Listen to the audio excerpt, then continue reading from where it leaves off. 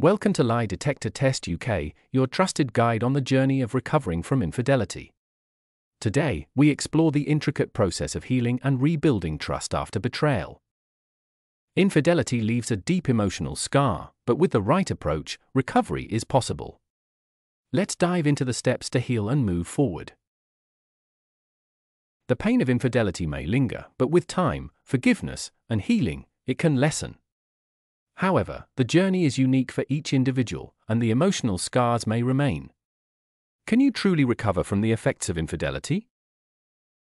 Yes, recovery is possible with therapy, communication, and commitment. While some relationships emerge stronger, healing is complex and varies for each couple. Now, let's explore the steps to recover from infidelity for good. Open and honest communication, seeking professional help, forgiveness and acceptance, rebuilding trust, and self care are crucial in the healing process. But let's delve deeper into three specific ways to recover from the pain after infidelity. First, receiving a heartfelt apology from the adulterer acknowledges the pain caused.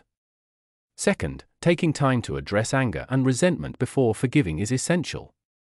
And third, focusing on self healing and reclaiming control over your life. Remember to avoid common pitfalls in the recovery process.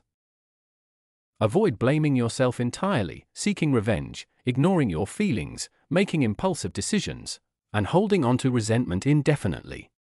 Seek outside help and support, and communicate openly with your partner. Lie Detector Test UK providing guidance and support on the journey of recovery from infidelity. Contact us today to start your journey towards healing and rebuilding trust. Call us to book your appointment today.